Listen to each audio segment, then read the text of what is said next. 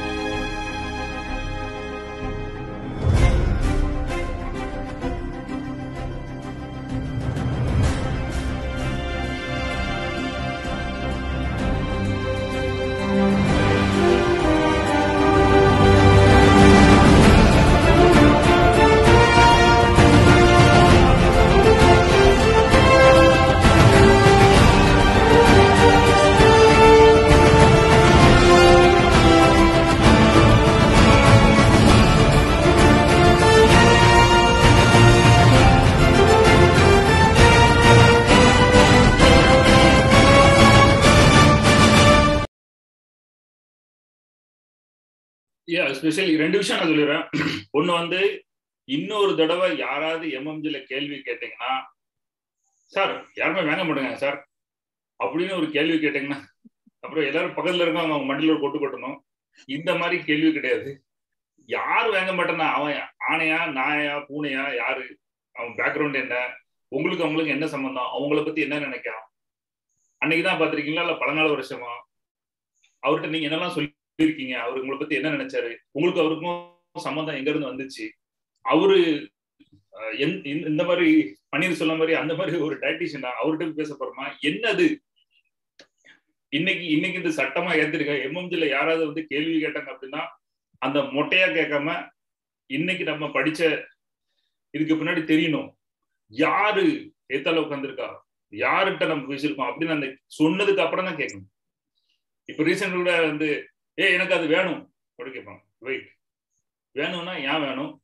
எதுக்காக வேணும்? ஏன் அதை கேட்குறீங்க? பின்னாடி ஒரு டீட்டெயில் கொடுத்து அது வேணும்னு கேளுங்க. ஸ்ட்ரெயிட்டாகவே எனக்கு அது வேணும் அப்படின்னா அந்த- அந்த ஏத்தால உள்ள விஷயங்களும் பின்னாடி இருந்த பேக்ரவுண்டு யானை கேட்குறா? இதனால என்ன பெனிஃபிட் இந்த விஷயம்லாம் கேட்டுட்டு அப்புறம் அதை கேட்டு. இன்னொரு தடவை எம்எம்ஜில யாரும் இதை கேட்க மாட்டாங்கன்னு நினைக்கிறேன். அப்ப யாரும் சொன்னாங்கன்னா பக்கத்து பொருள் என்ன டக்குன்னு கொட்டியாங்க நம்ம எம்எம்ஜில கல்ச்சரா பண்ணிக்காங்க மொட்டையா வந்து ஒரு கேள்வி கேட்க கூடாது கம்ப்ளீட்டா விஷயம் ஒண்ணு ரெண்டாவது இதுல எக்ஸ்பீரியன்ஸ் பண்ணும்போது நான் கேட்கறேன். ஒருத்தருக்கு வந்து சத்தன் வந்து அவங்க அவங்க ஃப்ரெண்ட் ஒருத்தர் வந்து ஒரு வீட்டுக்கு டீல் பண்ணாங்க. அப்போ அந்த பையன் அப்பதான் புதுசா சேர்ந்திருக்கான். மேபி நான் இப்ப வேலை பார்க்க ஆரம்பிச்சு அப்பதான் அந்த பையன் பிறந்திருக்கான். அவரு இப்போ வந்து ஹோம் லோன் எடுத்து கொடுக்காரு. அவர்கிட்ட ஃபோன் பண்ணி அப்படியா லோனா அது நான் என்ன பண்ணணும்? என்ன ப்ரொசீஜர் அப்படின்னு கேட்டேன். உட்காந்து முக்கால் மணி நேரம் ப்ரொசீஜர் இது அப்படி செய்யணும். உங்களுக்கு வந்து முதல்ல ஃபார்ம் தருவோம். நீங்க அதை நிறச்சி கொடுக்கணும் டாக்குமெண்ட் கொடுக்கணும். அப்படியா? சரி சரி ஓகே அப்படி இல்லை அப்புறம் உங்களுக்கு சிவில் கரெக்டா இருக்குன்னு செக் பண்ணுவோம். அதை பண்ணுவோம். நாங்க இதை பண்ணுவோம். சரி சரி. ரெண்டு விஷயம் listening skill open ended question இந்த ரெண்டு கேட்டு கேட்டு கேட்டு கேட்டு அவ்வளோ விஷயம் இன்ஃபர்மேஷன் எடுத்தேன். எல்லா முக்காவாசி இருக்கிறோம் ஓகே அப்புறம் நீங்க அப்புறம் அவனுக்கு தெரிய வந்துச்சு நான் ஆல்ரெடி நாலு நாலு வீடு வாங்கியிருக்கேன்.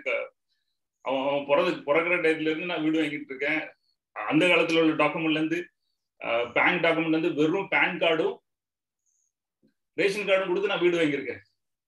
இன்னைக்கு இருக்கிற டாக்குமெண்ட் அந்த காலத்துல இருந்து நாங்க வீடு வாங்கிட்டு இருக்கோம். வெறும் பேன் கார்டும் ரேஷன் கார்டு இன்னைக்கு வந்து ஐடிஆர் கொடுங்க அதை கொடுங்க விட்டு ஸ்டேட்மெண்ட் கொடுங்க உங்களுக்கு கோ அப்ளிகன் கொடுங்க அவங்களுக்கு இந்த கதையே கிடையாது. அந்த காலத்துல அப்படியேப்பட்ட ஒரு ஆள்கிட்ட பேசுறதே தெரியாம அவ்வளவு விஷயம் கேட்டான் நானும் ஏன் கேட்டேன் அப்படின்னா ஏதாவது புதுசா ஒரு விஷயம் கிடைக்கும். இப்ப ஏதாவது புதுசா மாறி இருக்கு நானும் கேட்டேன். அதுக்கப்புறம் ஐயோ அண்ணா உங்களுக்கு தான் எல்லாம் தெரியுமா நீங்க நான் உங்ககிட்ட போய் விஷயம் சொல்லிட்டேன் அப்படின்னா இல்ல இல்ல ஒன்றும் ப்ராப்ளம் நீங்க கேட்கவே இல்லை நான் பேக்ரவுண்ட் என்ன நான் எத்தனை பண்ணிருக்கேன் வீடு வாங்கிருக்கீங்களா அது மட்டும் எந்த கேள்வியும் கேட்கல. ஸ்ட்ரைட்டா போய் பட படப்படன்னு சொன்னான். எம்எம்ஜில யாரும் இதுக்கப்புறம் இந்த ஒரு முட்டாதானம் பண்ணக்கூடாது. சரியா? எழுதி வச்சுக்கோங்க. இந்த விஷயம் எங்க பேசினாலும் தெரியும் முதல்ல அது யாரு அப்படின்னு கண்டுபிடிங்க. யாருன்னு தெரியாமலே போலீஸ் ஆபீசர் அவன் பேக்ரவுண்ட் என்ன ஏதுன்னு தெரியாமல் எல்லாத்தையும் வளர்க்கக்கூடாது பாயிண்ட்ல ஷேர் பண்ண ஒரு எக்ஸாம்பிள் நம்ம எம்எம்ஜி ஸ்டூடெண்ட்ஸ் ஒருத்தவங்க வந்துட்டு பிரசன்டேஷன் கொடுக்கறதுக்காக மக்கள் எல்லாம் ரெடி பண்ணிட்டு அவங்க அப்ளைன்னு சொல்லி கூப்பிட்டுருக்காங்க. கிட்டத்தட்ட ஒரு பத்து பேர் அரேஞ்ச் பண்ணிருக்காங்க. அந்த பத்து பேருக்கு வந்துட்டு எம்என்ஜி ஸ்டூடெண்ட் அவ அப்ளைனர் கூப்பிட்டு பிரசன்டேஷன் கொடுக்க சொல்லியிருக்காரு. அன்னைக்கு என்ன ஆயிட்டு ஒருத்தர் மட்டும் வரல. இவரு வந்து பிரசன்டேஷன் கொடுக்க கூப்பிட்ட அப்ளைன் வந்துட்டு அவர் யாரு என்ன ஏதுன்னு கேட்கல ஒண்ணும் சொல்லல. இவரு இல்ல இன்னொரு விஷயம் ஆட் பண்ணிடுறேன். ஆக்சுவலி இவரு இவங்க எல்லாரும் சிட்டில இருக்காங்க. திருச்சியில அங்க இருக்காங்கன்னு வச்சுக்கோங்களேன். அவர் வந்து ஊருக்கு போயிட்டாரு. அப்போ ஊருக்கு போயிட்டா வாங்க நான் இந்த கம்பெனில ஜாயின் பண்ணிருக்கேன். நெட்வொர்க் மார்க்கெட்டிங் உலகத்தை மாத்திரலாம் வந்து கூப்பிட்டு போனாங்க. அப்போ அப்பளே நான் வரேன். நீ சொந்தக்காரன் சொல்லி இன்னும் ஊர்ல போய் அவ்வளவு சொந்தக்காரன் கூப்பிட்டாங்க ஃப்ரெண்ட்ஸ் கூப்பிட்டு பத்து பேரும் மீட்டிங் ரெடி பண்ணியாச்சு. அவங்க ஊர்ல போய் அது அந்த ஒரு விஷயம் ஆட் பண்ணுவோம் அவங்க ஊருக்கு போயிட்டு அரேஞ்ச் பண்ணியாச்சு மீட்டிங் ரெடியா இருக்காங்க. அரேஞ்ச் பண்ண அன்னைக்கு ஒருத்தர் வந்து தப்பிச்சு தப்பிச்சா வரல. அவங்க ஏதோ சேலஞ்சஸ்னால அட்டன் பண்ண முடியல. பாக்கி எல்லாரும் வந்தாங்க. வழக்கம் போல அப்ளை நம்ம நைன்டீன் ஃபார்ட்டி செவன் மாடல்ல போயிட்டு யாரு என்ன எதுன்னு கேட்காம அவங்க கம்பெனில கொடுக்குற மாதிரி அதே பிரசன்டேஷன் கொடுத்துட்டு வந்துட்டாரு. கடைசியில பார்த்தா யாருமே க்ளோஸ் ஆகல. எல்லாருமே அதுக்கப்புறம் போன் அடிச்சு யாருமே எடுக்கல. ஒரே ஒருத்தர் அன்னைக்கு வராம இருந்தார் இல்லையா? எஸ் சார் இதை சொல்ல வரீங்க ஏன்னா பத்து பேரு. பத்து பேர்ல ஒரே ஒருத்தர் வரல ஒன்பது பேர் வந்தாங்க. ஒன்பது பேருக்கும் வெட்டி கொடுத்து அவ்வளவு பேரும் வேண்டாம்னு போயிட்டாங்க. போன் எடுக்கல போடா நீயும் கம்பெனி அப்படி போயிட்டாங்க. இவரு வேற வழி இல்லையா. இந்த ஒரு ஒருத்தருக்காக அப்ளைன்னு கூப்பிட முடியாதுன்னு இவரு தனியா போயிட்டு ஒரே ஒருத்தர்னு சொல்லி கொடுத்திருக்காரு. நம்மளோட இந்த படிக்கிற பிரசன்டேஷனை பார்த்துட்டு. அந்த ஒரு அளவு க்ளோஸ் பண்ணிட்டாரு. ஜாயின் பண்ணிட்டாங்க. இன்னொரு விஷயம் சொல்றேன். உடனே அந்த மாதிரி பிரசன்டேஷன் பிடிச்சு ஜெயிச்சிட்டாங்க அப்படின்னாலும் அவரு பெரிய ஓவன் வச்சு டபுள் க்ரௌண்ட் டைரக்டர் அப்படிலாம் ஆகலாம் சரியா?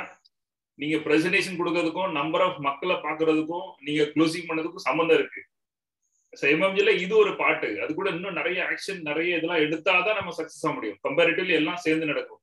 இன்னைக்கு நம்மளோட ஒரு ஸ்டூடெண்ட் இதை பத்தி பேசிட்டு இருக்கேன் action number of meeting people prospecting இது இல்லாம நம்ம அக்சஸ் பண்ண முடியாது. எம்எம்ஜில படிச்சு செம ஸ்கில்லு எவன் வந்தாலும் க்ளோசிங் ஆனா எவனையும் பாக்குறது கிடையாது. ஒன்னும் நடக்க போறது கிடையாது. ஓகே